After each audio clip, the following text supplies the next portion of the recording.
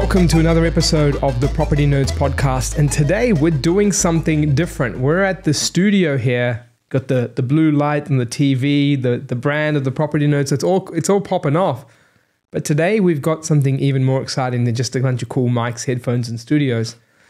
We've got another joining us on the show as a host. So, um, as you know, for those who've been following the podcast for some time, uh, my name's Arjun Paliwal. I'm the founder at InvestorKit Buyers Agency, and my wife Lee um, she was prior uh, looking after Hills Finance and working with us here on the Property Nerds podcast show. And so we had property and finance all come together. Now, during that time, uh, I welcomed uh, little Ruby to the family. So, beautiful little Ruby. Uh, she turns one actually next week. So, time is flying. And uh, during that time, Lee made the decision to go, look, I'd love to be in a, a full time mum. And I'm really, really excited for her. Very happy that she's also also doing that and uh, it, it's definitely been a blessing. Uh, but during that time, I became a loner on the show. It was, it was just hmm. me, myself, and I, and uh, trying to record some content for you all who tune in to share what I see in the data, share what I see out there in the headlines. And during that time, uh, we connected with you know the broker that we work closest with in, at InvestorKit Buyers Agency in terms of you know our clients raving raving fans for this person and their team and uh, yeah, from all sorts, complicate, complicated loans, expanding and scaling portfolios from five to 10, resi and commercial. We just had a lot of good momentum together, and that was really special. And so I thought, hey, we want to keep the property and finance theme alive at InvestorKit and at the Property Nerds podcast. And that was really important because we got loads of messages going, guys, can we have some finance info back again? Can we have some finance insights back again? And I'm like, yes, yes, yes, coming soon and we have that today. So um, I'd like to welcome my new co-host. And the eggs still match, by the way. So for those who remember the eggs, the brown and white egg, I'm still the brown egg, and we, we've got another egg with me. So my fellow egg, Jack, welcome to the show, mate. Thanks for the kind words, mate. It's it's funny, man, because I actually how I first got to speak to you was through this podcast. It was about three years ago. I don't know if you remember, yeah. but I put an inquiry and you were releasing something where you'd put in a postcode or a suburb and it'll just give you mm. all the hmm. data. I, I heard the podcast, logged on, put my details in to get access, and you called me. I felt like a celebrity was calling me. and I was like, couldn't believe it. But yeah, since then, it was, it doesn't feel like that long ago, but started sending you business. And since then, we've just been leaps and bounds, mate. So yeah, it's been a special last three years, mate. Just seeing, firstly, you go from strength to strength. Mm. Um, our clients together share a very special journey. And I think like that's really important for me in what we do as a buyers agency. When we help so many families, it's about not just us, it's about building the right team. And when you build the right team around someone, you get to see the good finance professionals, the not so good, the ones that had the clients delay their finance clause extended multiple times, mm. those that couldn't help someone get a loan through when they were clearly in the capacity and a position to. And you see it all in my space. So, like, to be able to isolate one person who I see as an absolute standout in comparison to the hundreds, and then not only have you work closely with our clients, but to get your ass off the couch and go, mm. mate, come and join us on the show, and you accepted. Yeah. I was uh, I was humbled on that as well, man. So, welcome, welcome onto the show. But for those who don't know you, obviously, I'm I'm raving raving fan of you. How you do business, how you help people, the families' lives that you transformed. Yeah. I mean, those who don't know you, Jack, tell us a little bit about yourself, the business you're from, just so people yeah. can get get to know you better. Yeah. So when we first started working together, it was at a different business, but recent, about a year ago now, which is pretty crazy. I started Fouracre Financial. Yeah. And uh, mate, it's been going very well, and that's due to your support largely. So thank you for that. But um, I think yeah, well, I started off as a broker about 2018, and yeah, at the new business Fouracre Financial, we're just mainly focusing on building the team because I, I find that being the owner of the business, the people under you kind of follow your lead and they they know that I really care about every single deal that goes through. So everyone in the in the business is the same and you know, that's that's just how we do things. But yeah, I think in the last 3 years is really when I've started dealing mostly with investors. So mm.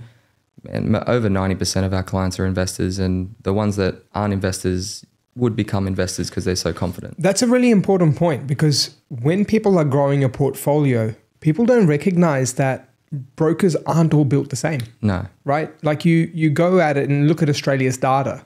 Mm. almost more than three quarters, almost three quarters, sorry, Yeah. of Australian houses are owner occupied. Yeah. So it's likely that the majority of financial financial professionals are dealing with owner occupiers. And, and we got a lot of people that come through to us and say, look, we've we've had a broker, but we just don't get the vibe that they know investments. And it's not just about lenders; it's Mm. strategy. You've got to understand strategy. You've got to understand trust structures. You've got to understand SMSF because if you don't understand the full picture, you're not going to be able to give the right strategy that's individual to that client. And and they can they know that they're talking to you. They're not stupid. They know if you know what you're talking about. And you know, yeah, I find that for us when they do come, they very rarely leave. Like Mm. people have their own reasons. People, you know, they have close people that they get referrals from, but we find that you know we've we've got a really good business, and yeah, it's it's going really well. Very happy. Yeah, and I think one thing, just to like make one final note on this all, is that when I've seen your team in action, one of the biggest things I've seen is that yes, you talked about the whole holistic part of SMSF, commercial, residential, helping from all sorts, but like there's no, this is a hard no. Like there's always there's a way, and what I mean by Yeah. that is like people sometimes treat mortgage finances no declined approved, and you don't look at it that way. You're like, hey. I can make it work here, Yeah. or if you have this change, we can make it work in the future. Yeah. It's like just solution driven. Where did you get that from? What's made you feel like that stood out about you and your team a lot? Because it's very solution driven.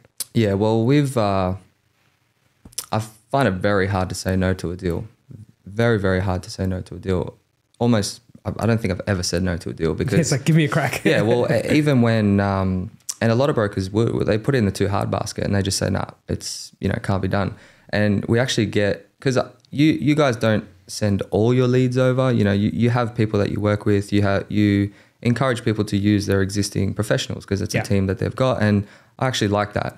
But every now and again, there'll be someone that's bought a property and they're in the finance clause and they're a week out and their broker stuffed it up, and we get a call and say, "Oh, so and so, we've got a week." You're my emergency lighter. like if someone if someone calls me and goes, Arjun, I know I'm meant to have ah. this approved by now, but my broker has i'm like Look. I've got the Batmobile or the, what do you call it, the Bat, Batman's phone, the red phone. I got Yeah, that. I got yeah. that ready. Just stop doing it on Friday afternoons, all right? Just don't make Friday afternoons any more stressful than they need to be. But, you know, we have to get from within a week, we have to fully onboard investors that have, you know, multi property portfolios and turn around a solution and a formal approval within that time frame and try to find out what the issue was with their previous broker.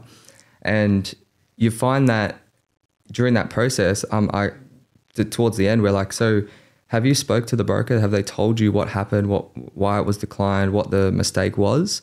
I think a lot of them are just too ashamed to admit the mistake that they made until we've actually picked it up and go, okay, this this is very obviously what happened and why it's failed, and this is why it has to go and, and get done this way. And you know, very rarely we we get a scenario like that and we can't do it, which just goes to show that not all brokers are created equal. I agree. Well said. Well said. Now, uh, that's you on the finance front. What about you outside of finance? I mean, people know me from the show because Yeah. I've I've been you know obviously here from the start and they've been following me. But you're the new guy to the show, man. Yeah, Tell me a well- bit about yourself outside of it. Yeah, well, I'm still pretty young, so I like to get into sport. Um, we actually share a love for UFC, so I- I like to train in MMA outside of that. And um, recently, I did a, a it was like a promotion that gets you off the couch and into the gym and actually get into your first fight, which is something that I've always wanted to do ever since. Is I that was, one of those like corporate fighter like Yeah. those type of stuff? you see a lot of corporate boxing ones, but you Yeah. don't see a lot of MMA ones because I think it's a little bit more brutal. Yeah. But ever since I started watching UFC in my early 20s, I just really wanted to get into the cage. But to actually get into the cage, you've got to be really dedicated and, you know, cut weight and, you know, go and fight someone who's an absolute beast. But at least with this this promotion, it's like it's kind of getting you off the couch and other people that are in similar situations. They're not they're not, you know, want to be like really top level fighters. They just want to, you know, do it because they're a fan of the sport and, you know, it gets them healthy and training. And I found that that's what it's doing for me, man. And Well, as soon as I saw that footage, I was lucky enough to realize, all right, I'm never going to mess with Jack. I'm not going to have an uh, argument man. with you. And like, you know, even before, even, even after the um, the UFC stuff, not UFC, look at us calling you yeah, UFC. yeah. Oh, I'll be in the contender series before the UFC. I promise everyone who's like, who knows I'm a diehard UFC fan as well. Um, this isn't rigged. We didn't select Jack upon his UFC credentials. Uh, the the main thing I wanted to point it out is I remember seeing a photo of you and I messaged you about this. I was like, I saw like twenty like six foot to six foot five Islander dudes, as strong as muscly as they get, Mm. Yeah. massive guys in the footy squad. Yeah. And then I see this guy in the back, only white guy in the team, right? Yeah. And I'm seeing there, I'm like, okay, this guy's legit tough because there was no one else like that was anywhere near a normal person size other than you. And sorry if I've offended you by No, calling you normal true. person size. But mate, you pack a punch, dude. You pack Nah, a yeah. punch. Well, I was a I was a runner growing up in school, and uh, you know, grew up in Campbelltown and played footy since I was five years old. So in that area, playing for Eagle Vale St Andrews, you know, it was it was like five minutes away from Claymore. So there was just a massive Islander population, and obviously in footy. You know, most rep teams that I played for going through school, I was one of the two white people that were in the team. and it it was just because I had a lot of history in running. I, I went all the way to the top level, number one in Australia for a couple of years in 400 hurdles. So chuck me on the wing, and I was one of the fastest on the field. Yeah, that, that's all I'm good for, mate. I'm not going to pretend like I'm a great footy player, but I'm a one-trick pony. Put me on the wing. If I get a bit of space, I'm I'm good. Oh, so you're, you're hunting down that white sideline Yeah. as soon as someone's getting close to you, like, oh, Yeah, oh, and I slipped. but look, mate, um, epic to know a little bit more about the other side. Look, I, I've gotten to know you closely as a friend for many years, but um, for those joining this show, and maybe it's the first time, or even actually you've been tuning in for some time, the next three, six months, Jack and I are going to continue to regularly be on there, not just three, six months, ongoing, but the next three months in particular, please pay attention to these shows because you're going to get a lot more deep dive into finance, a lot more of like, you know, policy outcomes, uh, interest rates, what offers certain banks are doing. Because I think many brokers put their cards too close to the chest in the Yeah. hope that someone reaches out to them. That ain't Jack, No. right? Jack will tell you how it is. He'll tell you throughout the podcast episodes that we have more and more about what Yeah. we see out there in the market. Um, but today, mate, we've got a bit of research to go through, and that's something that you know this this show's known for. Like people want to nerd out with us, right? All Yeah. data stuff, finance, property, um, interest rates, hot topic. So we've just released a research paper, and this research paper is on investorkit.com.au, and this is all about the ten cities that are likely to benefit the most from interest rates falling. Right. Firstly, Jack, interest rates. What are you seeing out there? What are you thinking when you when you see like interest rates up, down, flat, Yeah. sideways? What are you thinking? Well, right now, you've in the past couple of weeks actually, the one and two year fixed rates, even the three year fixed rates, the lenders are aggressively reducing them. Mm. And what they want is for people to go, oh, look at that rate, let's jump on that. They want people to do that because what they're seeing, well, of course, the, the banks are never going to lose, mate. Yeah. One way or another, they're going to get their money. So if they're offering really low fixed rates, one to two to three years, like, come on, that that means that the rates are going to come down right within that time, and they they want you to fix your rates in today so that when the rates do come back down, you know, um, there are some cases where if you're doing a very high LVR loan, um, typically lenders would give you a really good fixed rate, and especially if you're buying with InvestorKit, if you do a very high LVR loan, you really only need to fix it for one year because within that time that you own the property, the equity will get you to an 80% LVR anyway. Yeah. So if we're not doing that and then repricing after a year or simply doing a discharge form to get the lender to go, oh, no, please stay, that always works. And That's that's big. What you just said there is like gold, and Yeah, like people, you got to like rewind this if you haven't picked that up. What Jack said, he talked about like one year interest rates, right? People don't think like that. They think variable fixed, and they just think longer term. Mm. Yeah. Mm. Like there's a power in just doing it short term because if your property grows in value, you can refinance it at eighty percent loan to value ratios, and you got the whole playing field now. But you don't even have to refinance. That's the thing. You, you can still you can reprice. The, You Hmm. Can order a valuation, reprice the LVR. You can um, say to the lender, "Look, I'm going to refinance." True, because it's dropped from ninety to eighty. Yeah, you can yeah. reprice it, right? Well, it, I'll give you an example, right? So you could do a 97% LVR loan, Yeah. and interest only variable. They'll give you like eight percent, right? Disgust, disgusting. Disgusting. But if you fix that for one year, you could get a six in front of it. Wow. Right? Which is which is where the variable rates are at eighty percent. Massive. for for I didn't uh, know that. for an interest only. Yeah, Huge. I mean, you don't get into the weeds with Yeah, yeah, with, yeah. I with think the that's like- that's your stuff. thing. But man, we do we've done that for many many of your clients, and Mm. and they love it. They love it because a lot of people think that you have to put such a big deposit down, or it's it's just ninety percent. That's it. Or if I'm going to ninety seven, I can't do interest only. it's not the case. Like it, Yeah. so that saves so much cash then. Because Yeah, you know, man. Like I think the biggest thing for people, right, if you can borrow it, Mm. right, and obviously these people can in that in that example you've said, but if people can borrow during the high interest rate times, yeah, th- that means the stress test on that finance application was way higher than what the rates are today. yeah, So you're good for it, Yeah. right? But not only are you good for it, that if you can have the buffer aside, like you do when you go to those high LVRs at Exactly. 95, 97, you end up preserving so much more of your cash. Yeah. You're in that position where if things do get tough or tighter, you've got a buffer. that's right. Because the worst thing a property investor can do is get so month to month and not feel like they've got that stash on the side that they feel comfortable with, right? That's Yeah. one of the biggest things. It's made me feel resilient. Like repairs come in, interest rates go up. You just look at the side and you go, oh, there's a bit of a Yeah. stash there. It's okay. So every now and again, you'll get a client who wants to be ultra aggressive, right? And you hmm. got 97%, bang, bang, bang every single time, no cash buffer, right? That's on them. Hmm. But what we find a lot of people that want to use that 97% LVR option is they just want to have enough of a cash buffer left over. Like rather than because that if, if you go 90% and you go to a certain purchase price, you know, say call it 600K, Yeah. at 90%, they're all in, right? And, you know, even though they get a slightly better deal, they've got no cash left. So they're not comfortable to do All it. it So then, takes is one aircon. They're like, oh, Yeah, uh, what's exactly. wrong here? Yeah. and then they'll reduce the purchase price and get a suboptimal property potentially. Mm. So if you just go the 97% LVR option, you, you've got 20K left over. Mm. as a Immediately, of that. that's a that's a good buffer enough. against a house. That's enough. And you still get the, the that higher purchase price and, and the right property. So it's not for everyone, but man, it's it's um yeah, it could be a very good option for a lot of people. That's a good point. Um, now, with interest rates where they are and the prediction for many to come down, like how much do you feel that will impact the borrowing out there? Because you see capacities day in, day out, like Yeah. 1%, 2% rate rate drops. Like things can move pretty quick, just like when Yeah. they did in the, the 2021 period where things came down, or even just leading up to COVID, even pre COVID, rates were falling down pretty quickly. Yeah, but if you if you look at all the predictions, um, and you mentioned that in the white paper that they're most of the banks are expecting a one percent drop over twenty twenty five, which is is good. That's really good.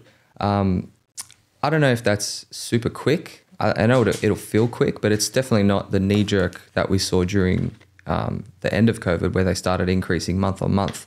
That was that was very stressful for for us and a, and a lot of people. Totally. Um, but one percent, you know, one a, a quarter percent drop every quarter, I think that's a really good outcome for a lot of people, and that's going to open up borrowing capacities by a lot. Yeah. Um, yeah, but you, don't know if it's going to be one rate drop every quarter. It, it could. You, you never know what's going to happen in the world. You don't know if it's like 0.25 or 0.5 sometimes. It could be different. It could doesn't be a always knee have jerk. Yeah. Could be a knee jerk the other way. You, you never know. So, yeah, it, it looks good, but from a borrowing capacity point of view, when the lenders started increasing their rates every month, I think they started to see a lot of the market share going to non-bank lenders due to borrowing power Oh, constraints. And what we saw as a result of that was a lot of lenders loosening their policy and simplifying their assessment to really open up what people can borrow. Yeah. So now I think they wanted that market share back, you know, and they weren't getting as much lending, so they were able to take on more risks. So they started,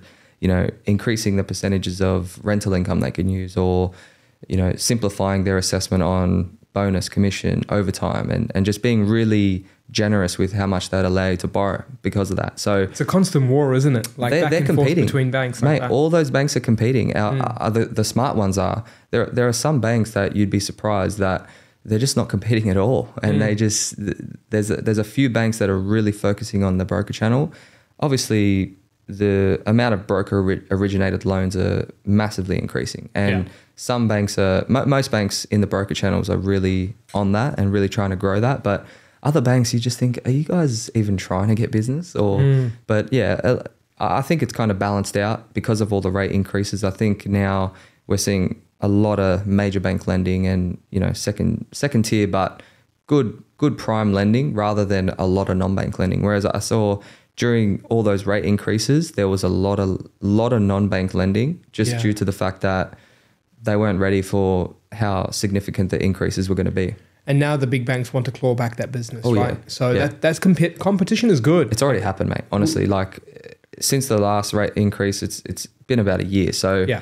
in even kind of before that, but in the last 12 months, mate, it's happened. Like the, the lenders have opened up their policy. They're quite happy to lend. And, you know, most, most deals are still with those prime lenders. And that's actually a really good point you raised because what people don't recognize is that you don't have to wait for interest rates for finance to change, Mm. right? Like people think it's like, oh, interest rates down, then I'll be better. Like I always encourage people to keep the finger on the pulse. You know, we get our clients to keep checking in with you because when they keep checking with you and your team, it's like, hey, yeah, this bank's now changed something. Mm. That bank's now changed something. You raise a good point on that because over the last 12 months, even though interest rates technically haven't dropped, we've seen the fighting as if they're dropping already. Yeah. Fixed rates coming lower, some people policies changing, things like that. Man, a great example is, you know, three or four years ago, you could probably say one or two lenders would take one year financials. Yeah. Today, I, I, I could probably name you close to 10. So what's one year financials for those who are new to it? Well, a self-employed customer, you know, generally, historically, you'd need two years of financials. Okay, Maybe like one tax or- returns. yeah, tax returns, uh, company company tax returns, individual tax Yeah. returns, company financials, or trust tax returns. Yeah. Um, you know, historically, most people would assume you'd need two years, right? But man, recently, it, it started happening over the last two years, but in the last year especially, there are so many lenders that are offering that one year in isolation financials, Mm. and and you know it's twenty. You technically you can do twenty twenty four tax return right now, but you can still use twenty twenty three tax returns, which is you know almost a year and a half ago, Yeah. and you can use that for your borrowing power all the way up until March next year. Right. So if someone's listening to that, they should think of two things, right? Firstly, the one year could be looked at from the year 2023. So if that year's Yeah. looking solid Yeah. and that's there, you don't have to wait to lodge this year's tax returns. You can No. use that. Secondly, if you're having some big growth as a business owner and this financial year June ending is gone like really, really well Mm. for you, you could lodge the returns for that and isolate just that one year Yeah. and get your servicing up. Uh, it's it's especially good for people that are in their second year of business. Got it. because in their first year, obviously you've got It's a lot of expenses. Yeah. Yeah. it's tough, man. And then in your second year, you'd obviously do a lot better, hopefully, than your first year. So, um, and that's just another way that those major lenders are trying to take the market share back because there's a lot of low doc options out there. There's a lot of alt doc lo- options out there. So, yeah, they they just they want more market share. So yeah, they're just there's a lot of one year financial options out there. Mate, the fight is on. The fight is on amongst the banks. So um, I know you had a couple of questions for me on this report. So uh, for anyone tuning in, and whether you're driving in the car, listening to this podcast, and you're wanting to go, look, I want to grab a copy of this report that we're talking through today. Just a reminder, it's investorkit.com.au. It's totally free, and it's called 10 cities that will benefit from rate cuts the most. Uh, it just dropped, like literally this week. And if you're listening to in the recording, maybe, yeah, still this week because we're releasing this pretty soon on the podcast. Um, but this particular report, we might go through maybe three cities tops. Um, so that's me doing my, you know, seven for you to find out in the report. Yeah. Go, go get yourself a copy. It's totally free, by the way. Um, but you had a few questions because you checked Yeah. out this report. What, what are your thoughts? Yeah, so what I when I was reading the report, I noticed that you provided a, a lot of context prior to giving those ten cities. So I want to go into a, a bit of the context of what you provided. So in Yeah. the introduction, I'll, I'll, I'll read directly from it. It says, Yeah, yeah. cash rates in isolation will not bring another property boom across the country. As we can tell from historic data, that not all markets move in response to interest rate changes. Yeah. That's a really, really good point. And Yeah. um, not a lot of people know that because there's a lot of people that are sitting on the fence just saying, no, I'm going to wait. I'm going to wait. I'm going to wait. And, and I hear that and I just, I cringe because especially if you're buying through InvestorKit, mate, I've seen some insane growth in Yeah. just 12 months. And people that have been waiting for that long, uh, the, the opportunity cost is, they wouldn't even be able to comprehend it. Yeah, I mean that, that's a really good point you raised. So, firstly, that's an important line we write in the introduction because whilst this report centered around ten cities that are going to actually benefit from rate cuts, it doesn't mean everywhere in Australia benefits from it, right? Because if the theory that interest rates dropping makes property booms, then why did we see markets boom as interest rates have been rising?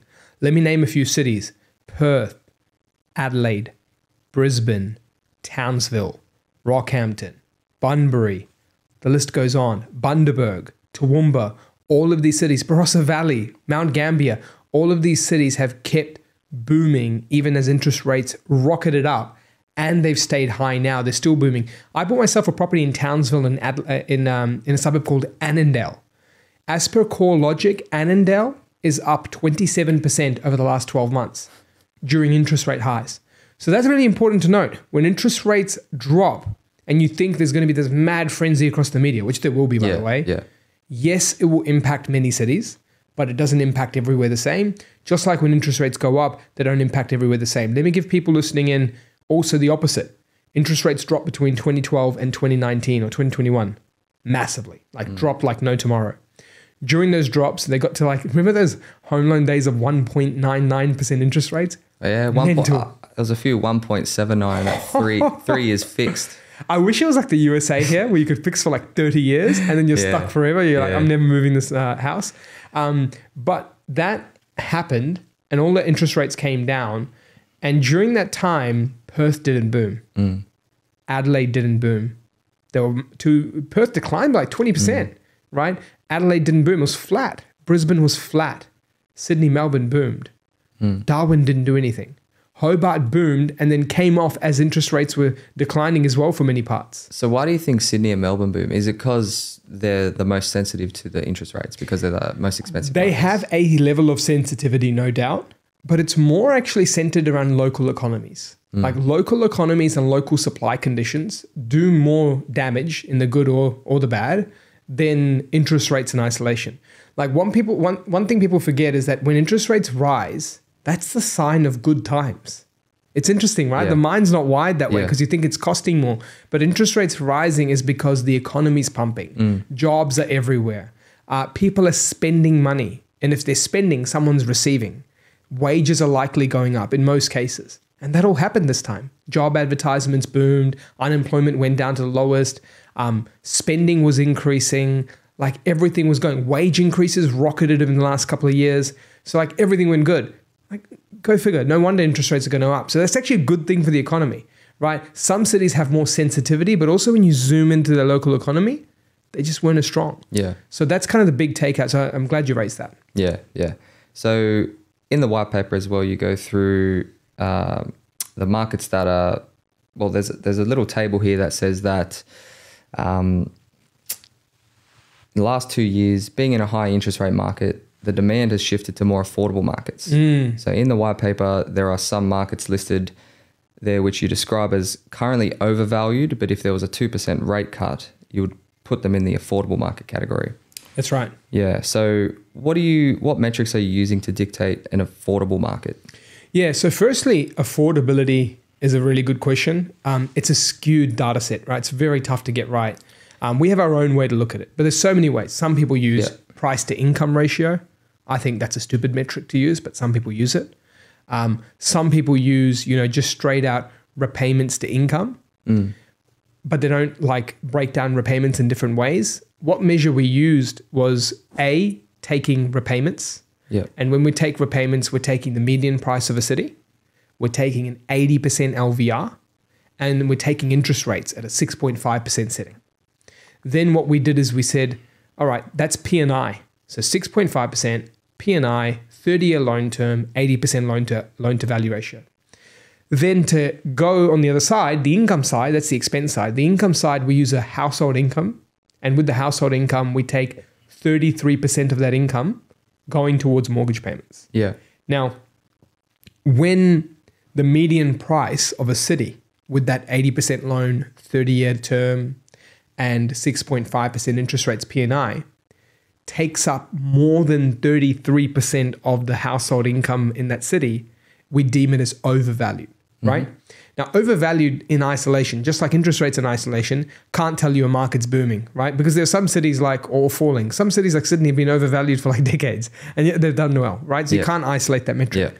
But in rate increase cycles, it was really interesting to see in the recent event all the highest performing markets were the most undervalued ones. Yeah. Now, what we're saying in this data set is that there are some cities. So I'll give you an example. The city of Albury is currently 6% overvalued, right? However, if 2% rate, drop, rate drops happen over the next, say, two years, Albury, Al- Albury, New South Wales is now 17% undervalued. Same thing goes with Yeah. um, Wagga Wagga in New South Wales, 3% overvalued now. But if interest rates drop 2% over the next two years, as an example, they drop by to 21% undervalued. I, I couldn't help but notice that a couple of years ago, you've probably been buying in these these these markets, Some of them, yeah. yeah, before they were overvalued, Yes. and then knowing that the interest rates are going to come down, that's just going to help with more sustained growth. In some cases, yeah, where the supply's tight. So I'll give you Yeah. some examples that are continuing their rise right now because the st- supply's tight. Bundaberg. Like Bundaberg's got into now from uh, undervalued to fair value to just a little bit overvalued. But still on a month by month level, it's rising in value. If interest rates do then de- decline, which we do forecast that to happen fairly quick over the next year, then it just helps that affordability at that city. But I think the main thing you should look at, Jack, is what about that chart on the right? You see that scatter plot chart? That Yeah. to me was the most interesting thing. We looked at all Australian SA3s, so local localized areas, and we looked at 22 prices, so 2022 prices. That's just as interest rate rises started to happen. And we looked at the growth over the next two years to follow, and we looked at what price point these cities sat at. And can you see how much the high growth rate was on the most affordable price points in the mm. country? Yeah, And then if you look to the far right, where the more premium price points are, very little growth over the last two years. yeah, So to me, that sparked something really interesting. You noticed it from your side as well. What did you notice on the finance trends the last two years? Because we weren't getting the same type of buyer inquiry at higher prices, and you weren't getting the same type of finance inquiry, right? At mm. higher prices. What Yeah. did you notice? Well, when the banks are obviously, you, you look at the actual rate for servicing, but they put a 3% buffer on it. Right. So when you're looking at higher valued properties and higher loan amounts with that 3% buffer, it's really tough to service that type of loan. So it brings me to the next point because as rates, n- another side effect of rates reducing, it's going to bring first home buyers back into the market to be able to afford a higher valued property. Um, I think it's a bit of a double edged sword though, because when they start to buy those higher valued properties, it's going to put pressure on price growth for those people. So Yeah. they got to try and just keep their finger on the pulse. Like if you are a first home buyer and you're trying to save up a deposit to get that that higher purchase price, because a lot of people are struggling with it, mate, especially where we are. Mm. The, the the prices for houses and land is just so expensive, and mm. where the rates are right now, they're the ones that are most affected. Mm. And for the first home buyers that don't have access to property already and haven't had any exposure to growth, they've got to work the hardest to get in. So, yeah, it's um, it's tricky for them. Yeah, and I think like what you say is like also showed up in the budgets. I remember 2021 when we were working closely together, we'd see budgets. Hey, clients looking for 800k to 1.2 mil, 900k to 1.3. Yeah, Like yeah. that stuff was fairly common, or six 600k to 1 mil. But then as the years went on, it's like 400 to 600, Mm. Different, yeah. 500 to 700. That's for sure impacted the. Are you, the are you reading my notes, mate? Because you flowed onto my ex- the exact next point. Because That's crazy. yeah, well, with obviously with rates coming down, that's going to change the appetite for for an investor. It's going to Mm. put them in a position where they can borrow, but it's also going to change their strategies because Mm. a, a lot of people, you- you're right. So many people are just focusing on yield. They just really, really want yield, Mm. and that's because there's there's pressure on them right now, especially if they've got a, a lot of debt. The more debt you have, the more you notice the a quarter percent rate increase. You might not think it's a lot, but if you have a lot of debt, you'll notice it. And that's why a lot of people are starting to ask for yields. But in a lower interest rate environment, they're not going to be as worried about that. Yeah, fair call. I can remember you made me have memories of 2018 and 4% yields were like solid back then. Mm. Then all of a sudden, 3 4% yields are like, eh, you know, like Yeah. right now. Um, but yeah, what that scatter plot showed is all this growth happened in that affordable end over the last two years. Mm. And as we know, that can't stay the same forever. You know, you can't have an affordable end suddenly. You can't have Campbelltown be as pricey as Parramatta, Mm. right? Because they, they have to go through their waves of shifts because people will see value, intrinsic value somewhere else. Um, so I think that's a big thing to look out for. Over the next two years, we see a big shift in markets as well. That as time goes on and the rates continue to come down, investors will be far more open to different areas' rental yields Yeah. that spreads the money. Also, areas that have grown less will feel much more valuable to people because it doesn't feel as pricey and people can borrow more for it. Mm. And secondly, uh, thirdly, sorry, is that people who've made a lot of equity, they've made a bunch of equity in the Yeah. affordable markets. I'll give you an example. Out of Perth, has rocketed 50 to 70% in the last three years in some areas. Mm. Inner Perth is about 20 to 40%. Wow. So it's like it's nowhere near as high as outer Perth, which is really fascinating in the last hmm. two years. So that's a big 30% gap. That means someone upsizing over the next few years, once interest rates start coming down, if they time things right, they could have a big benefit. Swing Yeah. out the outside money, come into the inside, and they've got a house in a better location and, and all that sort of stuff. Yeah. So yeah, that's a good point to run into. You do a bit of a spiel on the white paper as well about consumer confidence elevation, which that'll that'll obviously come with interest rates uh, decreasing to the masses, but to the property investor, I've already seen that come back. Honestly, just just the mere talk of a rate cut, their confidence is back because Yeah. they they all want to they all think that uh, one rate cut is just going to be like oh property's booming, you know, and and two it's like oh there's there's a mad rush again. So just the mere talk of it, the the savvy investors want to get in before all that happens. They should have been doing it six months ago, like I said, because there's still markets that are growing rapidly, and you can still have a piece of that pie. But um, yeah, I've already noticed just just people hearing the word rate cut on the news, they're like, oh, it's coming, and and the confidence is back. Yeah. You know, you just made me get some memories then of like, like I actually made a mistake on sentiment once in the past. Mm. What I mean by that is I didn't realize how important that was as a metric. Yeah. So I was always looking at supply trends, demand trends, and then I was looking at certain cities that you know didn't do so well or did so well, and I'm like, why? Why not? And and questioning myself, and I've come to realize in recent times more than ever, sentiment is very, very, very important. Like I'll give you an example.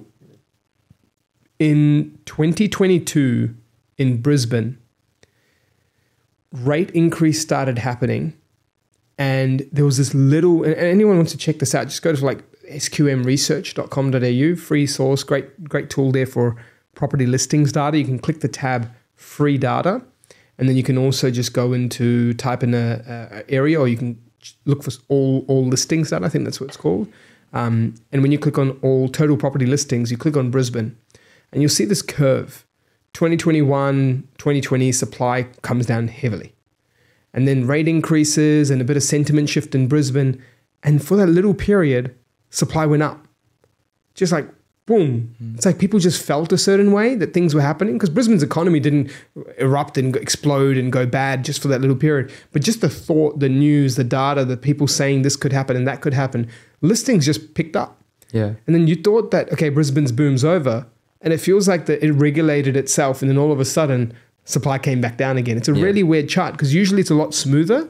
But that trend was like, and then came back again. Yeah. And then that was an explanation to me on sentiment, right? Um, but some cities, they're way more sensitive to that sentiment.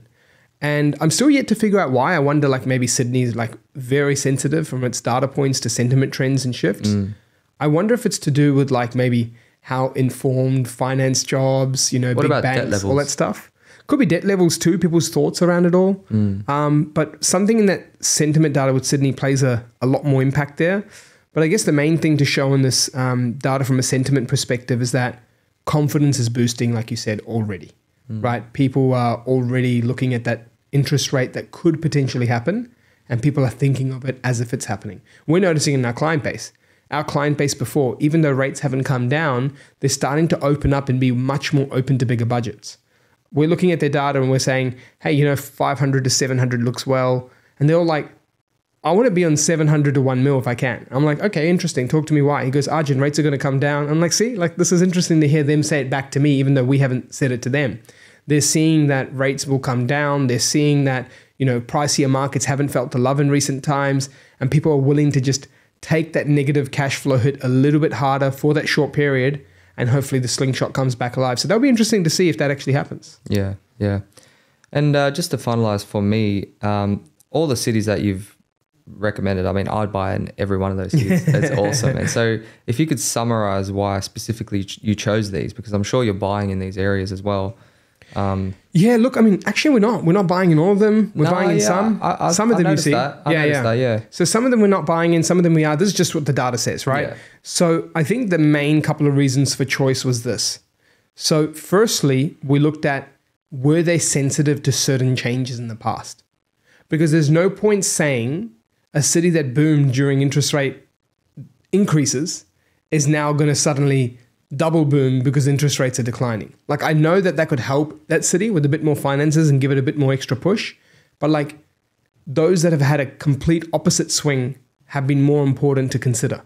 So if a city as soon as interest rates start to come up really start to go the other way, then its sensitivity is higher and if mm. we look at past events that's the case as well. So what we did is we looked at a few things. We looked at the affordability as- aspect. We looked at the current market pressure. We looked at their rental returns and how the yields might change.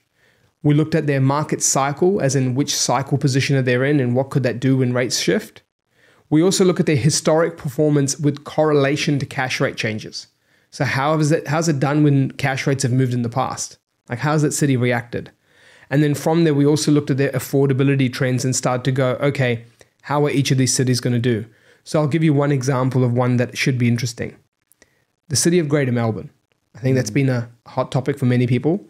Now, I didn't want to say it because I don't want to give it away. yeah, yeah. No, I'm going to give away. I'm going to give away. We'll, we'll give, you know what? We'll give away three cities. Yeah. Right. We'll give away three cities today.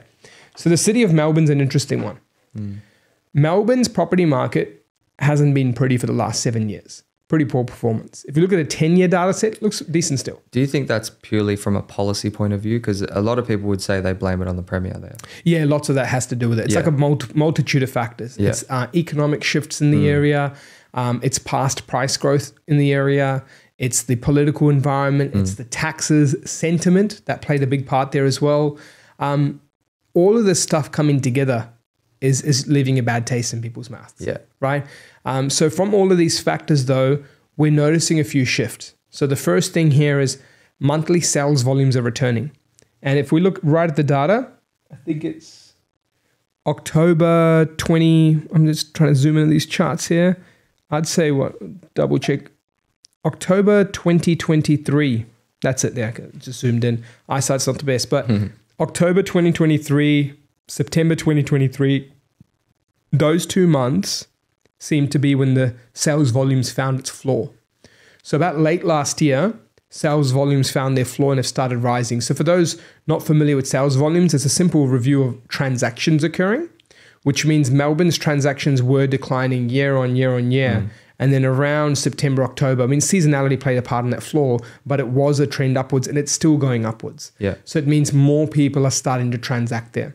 Second thing is investors are leaving a lot. Yeah. Now, if investors are leaving a lot, people don't recognize that's been a big part to play with the rental boom that's happening. Yeah. And it's actually extended the rental boom in Melbourne more than it has in other cities mm. because more investors are leaving. Because the land tax? Yeah, land Yeah. taxes, um, compliance for rental, all that stuff. Yeah. Uh, then we've seen inventory, it was rising a bit, which means a weaker market, but it's now started to flatten. Same with things like um, vendor discounting. Vendor discounting was rising up until about September 2023. Then vendor discounting's been coming down. Days on market was rising heavily until September 2023 and then it's flattened. So Melbourne's at this weird stage.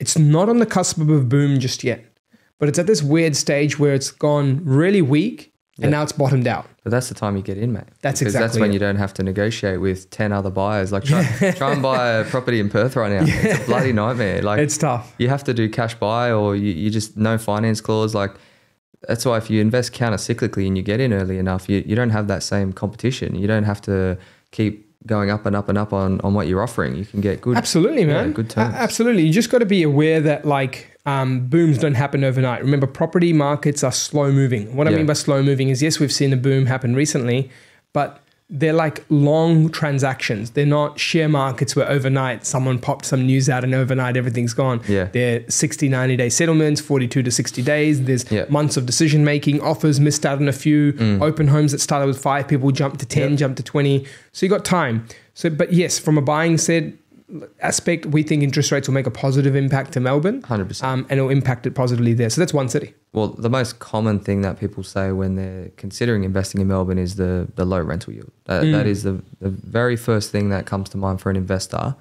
And that's only so relevant now when we're in a high interest rate market. But Yeah. I'm sure once they start seeing the capital growth that they'll they'll all flock. Well, check this out. Rental yields in January 2023 were 2.8% for Melbourne. Ouch. Ew. They've jumped up already, even without interest rates, to 2.43. Uh, 3.43. Yeah. So that's a Yeah. 0.6% jump, 0.663. And is that a combination of price decline and a little bit of price decline and flatness, Yeah. and then the rental j- yeah, jumping up. So spot on. Um, now, here's where it gets interesting. We break down in this report, you actually also get to see the cycle positions of the city in terms of what it's done over one year, three years, five years, seven, and 10. So over the one year, Melbourne hasn't grown at all. Over the three year, it's only had an average of 3.8% per annum. Over the five year, 3% per annum. Over the seven year, 3.9% per annum. And over the 10 year, 5%. National averages are 5 to 6% long mm. term. So you're looking at this and you should be looking and going, that's seven years straight of below national average performance. And in Melbourne's 40 years of data, like it's maintained an overall above national average of performance. yeah, So if it's maintained that over 40 years, we can talk about the concept of that reverting back to its long-term averages. It Doesn't happen overnight, but interest rates will definitely play a part there. So there, yeah, it's one of the three cities. and are you sure you're giving this all out for free, mate? yeah, man, totally. Should put a section in there people can donate, mate. Seriously. Donate, pledge, pledge for Arjun and the research team there. No, look, um, all free. InvestorKit.com.au and it's the property research tab. Just click that.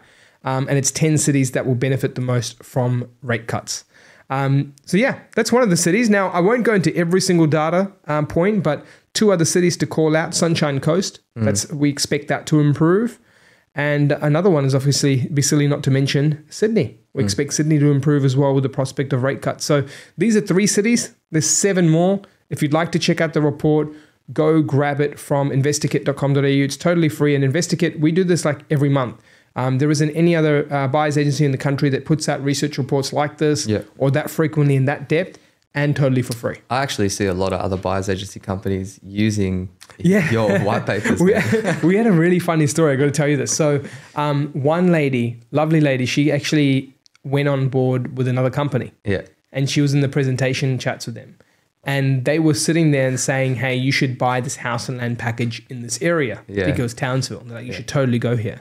Uh, and this was a couple of years ago because we were one of the first in the nation to spot that, you know, picking up. As always. Uh, thanks, dude. Uh, and then um, we spotted that and we said, hey, this is the research paper of you know areas that are prone for growth and things happening.